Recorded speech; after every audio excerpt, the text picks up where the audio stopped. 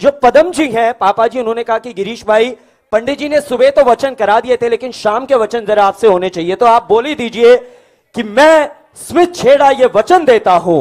मैं स्मित छेड़ा ये वचन देता हूँ। कि आज के बाद कि आज के बाद सत्रह फैमिली की हर वेडिंग की सत्रह फैमिली की हर वेडिंग की फोटोग्राफी फ्री में की जाएगी। फ्री फ्री फ्री की जाएगी। राइट क्या मैं स्मित छेड़ा ये वचन देता हूँ? मैं स्मिथ छेड़ा ये वचन देता हूँ। कि आज के बाद कि आज के बाद मेरी और शैली का जब भी थोड़ा झगड़ा होगा मेरा और शैली का जब भी झगड़ा होगा तो सबसे पहले सॉरी मैं बोलूँगा। सबसे पहले सॉरी वो बोल रही है यस है क्या शैली बोलेगी? नहीं नहीं नहीं सबसे पहले सॉरी मैं बोलूँगा।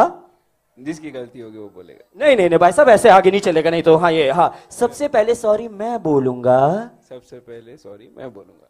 क्योंकि मेरे पापा भी ऐसा ही करते हैं। मेरे पापा भी ऐसे ही करते हैं। राइट right, जोरदार तालियाँ हो जानी चाहिए। राइट सो वचन नंबर थ्री मैं स्मिथ छेड़ा ये वचन देता हूँ। मैं स्मिथ छेड़ा ये वचन देता हूँ।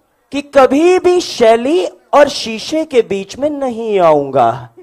कभी शैली और शीशे के बीच में नहीं आऊँगा। दो घंटे भी लगाएगी। दो घंटे भी लगाएगी। फिर भी कहूँगा बड़ी जल्दी तैयार हो गई तुम। बड़ी जल्दी तैयार हो गई तुम। जोरदार तालियाँ। Alright alright so last but not the least थोड़ा आपको मैं सपोर्ट करता हूँ। एक बार शैली को देख के बोली दीजिए कि शैली ये मत समझना मैं डर गया हूँ।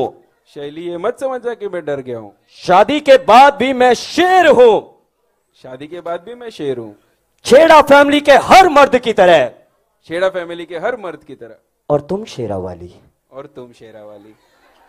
दोस्तों, ये जोड़ी जो जमी पर आई है, ये जोड़ी तो रब ने बनाई है। एक बार हाथ ऊपर उठा के जोरदार तालियाँ।